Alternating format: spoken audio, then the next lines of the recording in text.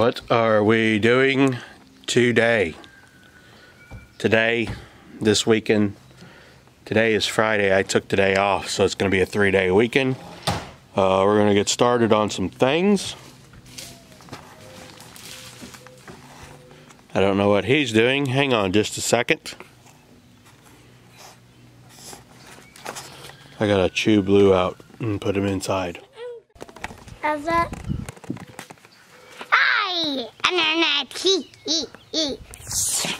Anyways, so like I was saying, a three day weekend. We're gonna get started on some stuff. Okay? Let's see if I can break this down. First off, I need to clean up the shop. The shipping container has a lot of stuff, as you saw in there, motors. Uh, I got the motor out of this, tore it down, so I've got this block I'm gonna do something with later. That'll be a project. Hey Dad, is this the extra to your car that was wet? Yeah. Then we've, Can I see if I can lift it? yeah, good luck, I can barely pick it up. Which brings us to what? All right, get out of here. Go. Go. Transmission. There's the intake. There's the uh, head. And it's messy. And I need to go through and clean it up. I'm going to probably take the beer fridge and put it over there somewhere so I can put the air compressor over here. Redo things. I am not going to have room for a motor in here at its current state with what we've got. So we need to do some organization. And while we're at it, we're going to talk about this situation here. We are in the mud and we are in the dirt. I don't have a nice concrete driveway or garage. All right. So I did some figuring on some numbers here. Let me look this up. Right quick. Okay.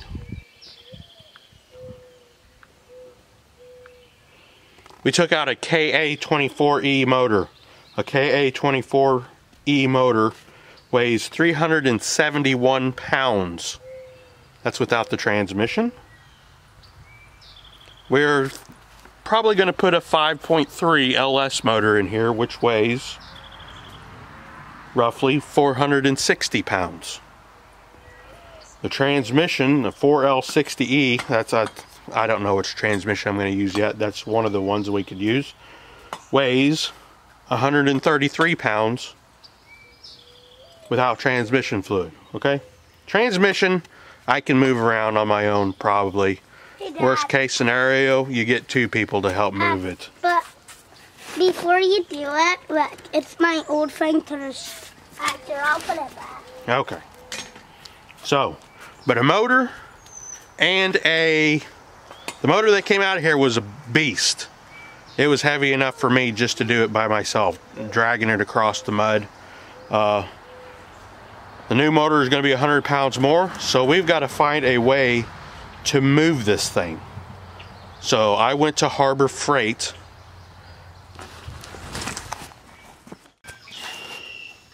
So I went to Harbor Freight and bought a 1,000 pound engine stand.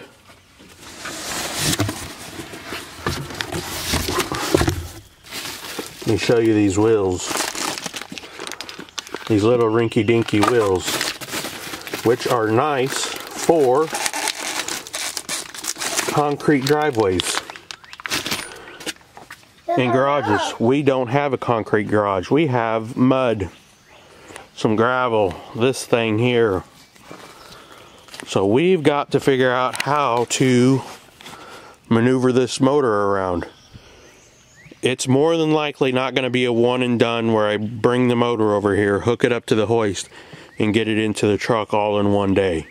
I'm probably going to be doing some working, and I'm going to need to move this motor around. Uh, I got to do motor mounts, so that'll be a, probably a one day project. Put the motor in there, figuring out where the mounts are, welding it up, pull the motor out, put it back in the shipping container so it doesn't get ruined. So we got to move this thing around. So we are going to do some redneck engineering to get this motor around.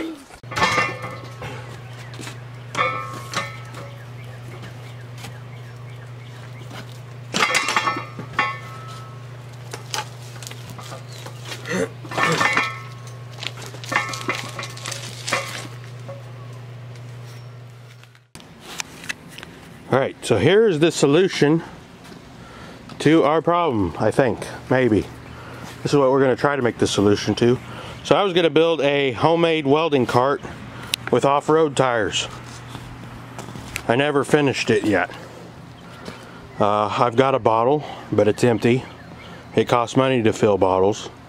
So we're probably gonna set this bottle to the side and we are going to set up that engine stand. We're going to try to weld it, chop it up and weld it to this welding cart I was building. Pull those poles off and mount that engine stand to this off-road cart. But first, we have to clean out the shop.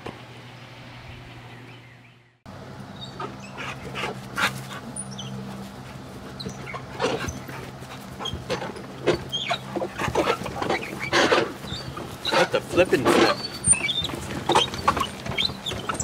Hey, Dad, I've been this like I was living it by myself. Yeah. Don't worry, y'all. I can think Dad's getting something. Are you gonna help or not? Where are we being at? Why are we being um, here? Need you to push.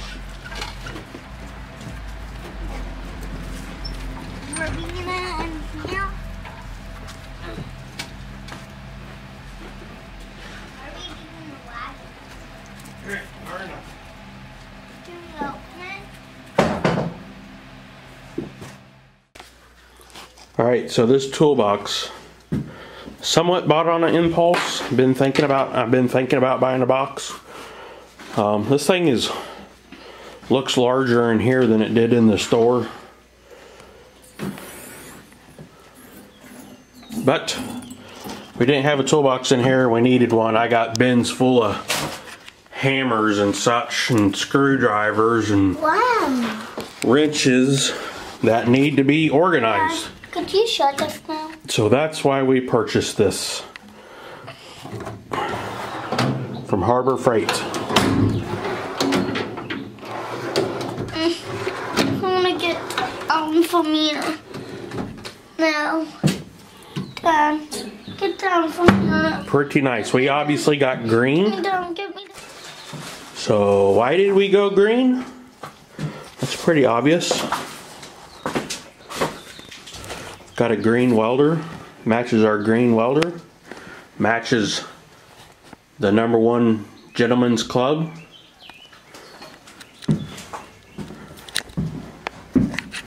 Green. Green. See a theme going on here? Green. Got one more thing for you. But after that, could you paint one more thing? Alright, since we like green so much, I know that door's making this hard to see. We got a green paper towel holder.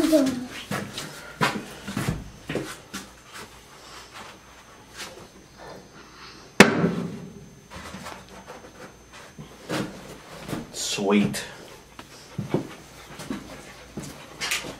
Hey, Dad, are you gonna leave that there ever soon? Alright, folks. This is the cleanest this shop's been in a good minute. We went through and organized it past couple days. Got this green box from Harbor Freight. Organized a bunch of our tools.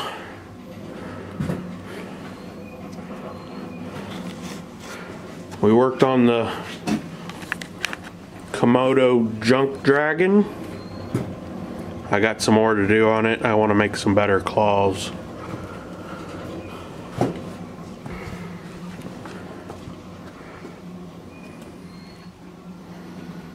Now, let's get started on that engine stand.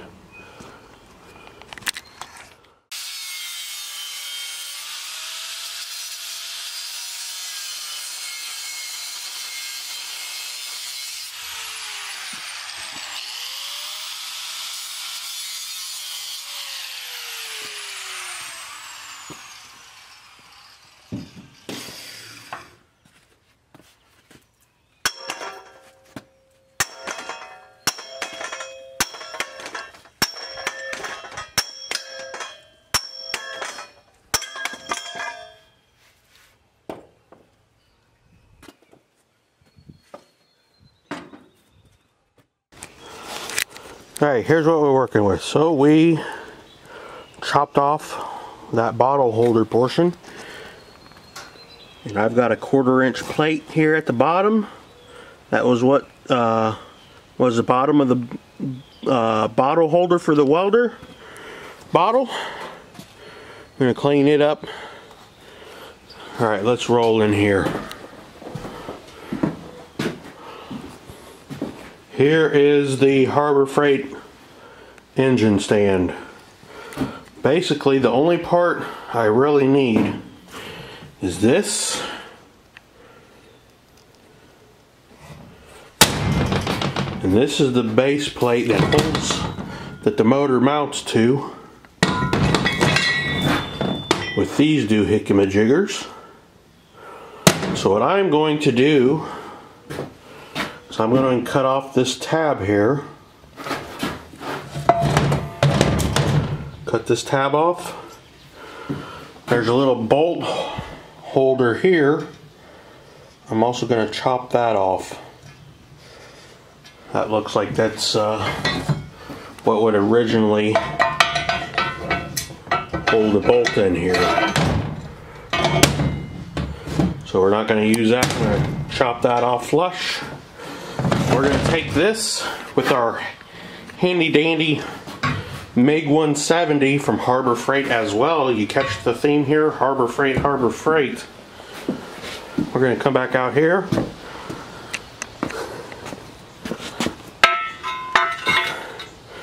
We're going to weld that onto that and we'll probably take some of those other pieces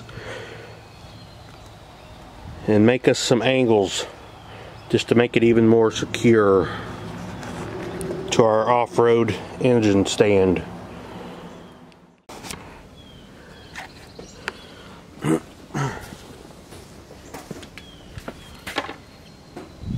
Alright, so we got this cleaned up at the bottom. Now the original design, this original design this piece here would slide in here and there's a bolt that goes in the bottom. So for structural integrity, since this has a piece that goes in here on this sleeve, I took one of the extra ones. I'm going to clean it up and it's going to actually go through here. It's got a bolt hole on the bottom. And I, well, I uh, drilled a hole through my base plate over there, so I'm going to actually put a bolt through here too, and then we're going to weld the full length of this on all four sides. This is going to get welded in first to this.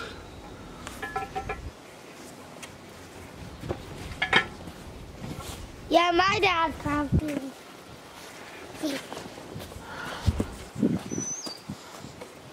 Did not eat that.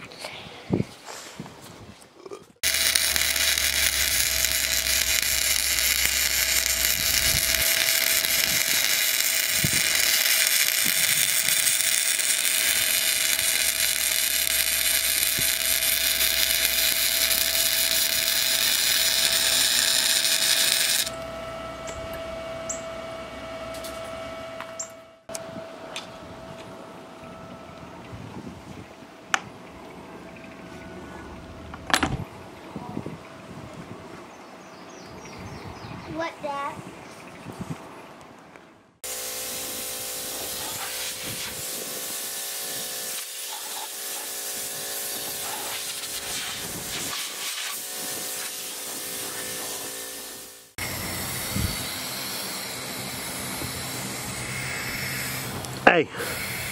Hey. What?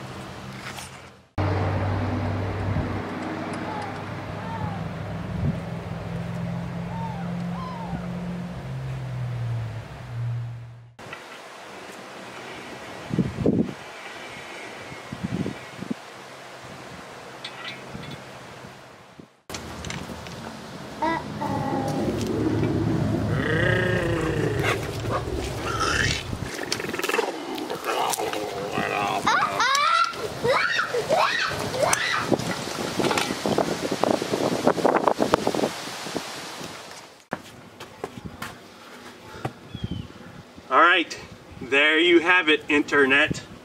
Xander and I, first off, we cleaned the shop.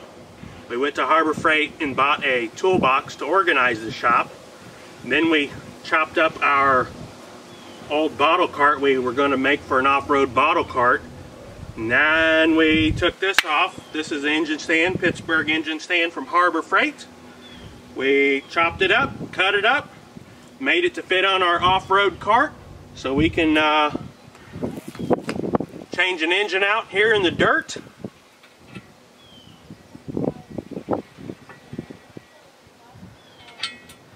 I would, uh, I can't advise you to do this. It could be dangerous. Um, I probably won't get my warranty back from Harbor Freight for doing this. So, do this at your own risk. On talk to the internet. Talk to the internet. Hi, internet. That is right. But Dad's even right it's behind you. But what is moving? Anyways, hopefully next video we got a motor standing on this thing. Getting ready to put it in Project Sin. LS swap for the hard body. Thanks for watching. Dad took one of the actions off of his car. Isn't that right, Dad? Yeah.